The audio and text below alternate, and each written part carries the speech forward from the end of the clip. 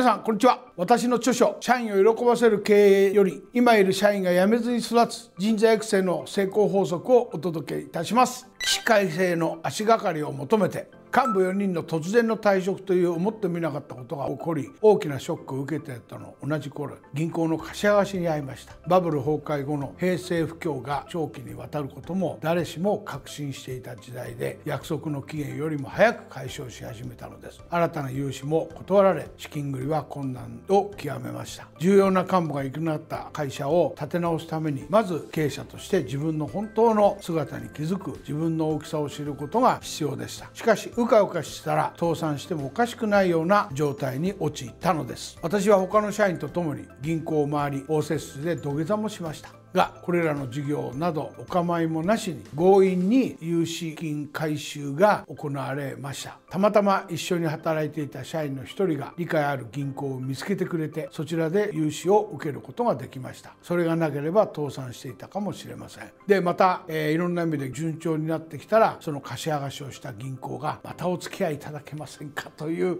ねお話をいただいてすごいな銀行って。いうふうに思いました。やっぱりあの銀行っていうのは常に礼儀を持って付き合っていくっていうことが必要かな。ですから私どもは毎年決算期終わると必ず経営計画と決算書を持って銀行にご説明に行くこういうことをしています。事務所の顧客拡大と青年会議所での大成功で意気揚々とした私はいきなり往復ビンタを受けたかのように人生最大のピンチに囲まれたんです。倒産の浮き目をしのいだ私は目が覚めました。猛勉強してもう一段上の経営者に私自身が変わらないとならないということを強く思いました。地獄の特訓のような厳しいセミナー合宿にも参加したこともありました。しかし自分の何がいけなかったのか分かっておらず真っ暗なトンネルの中で手探りで右往左往するだけでした。そうした中で私の心に決定的に響いた言葉がありました。それは日本創造経営研究所による経営セミナーにおいて松下幸之助の一番弟子と言われた元松下伝送会社社長の木野近幸先生から伺ったものでした。経営の神様松下幸之助はこう言ったということです。経営理念の確立し社員に浸透させて社員が喜んで働ける環境を作り社員を信じて任せることができれば企業は必